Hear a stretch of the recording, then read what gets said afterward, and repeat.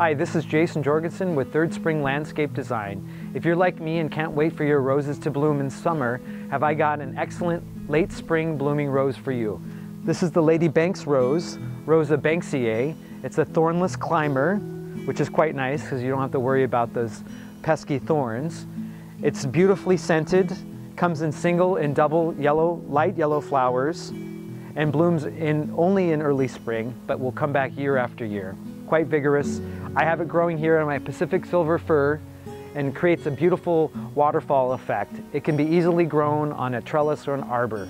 If you have any questions or would like more design ideas, come see me at thirdspring.com.